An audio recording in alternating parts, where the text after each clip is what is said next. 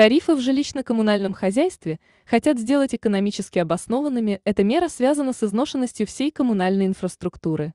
В этом случае коммунальные платежи могут начать расти выше инфляции. При этом поддержку социально незащищенных жителей, то есть адресную помощь при оплате жилищно-коммунальных услуг, планируют усилить при помощи компенсации. Специалисты считают, что стоит расширить круг получателей субсидий на тепло, свет и воду и снизить максимальную долю расходов на оплату коммунальных услуг в доходе семьи до 15%.